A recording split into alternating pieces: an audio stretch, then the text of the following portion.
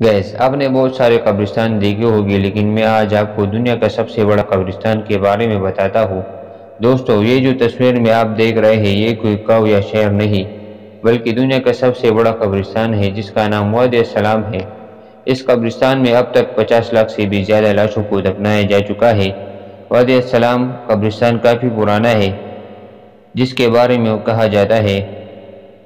कि यहाँ लोगों को दफनाने का काम पिछले 1400 सालों से चला आ रहा है।